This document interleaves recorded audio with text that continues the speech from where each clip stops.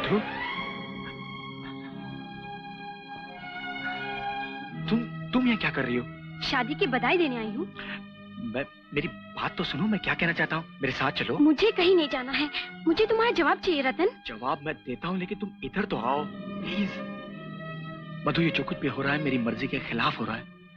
ये जानते हुए कि मैं तुमसे प्यार करता हूँ। घर वालों ने मेरी शादी ज़बरदस्ती तय कर दी। लेकिन तुम्हें शादी से इनकार करना होगा। लेकिन मधु वो मेरी एक नहीं सुनेंगे।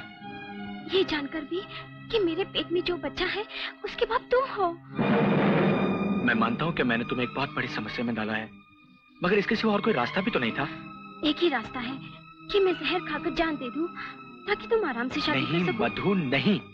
मैंने एक तरकीब सोची है। क्या?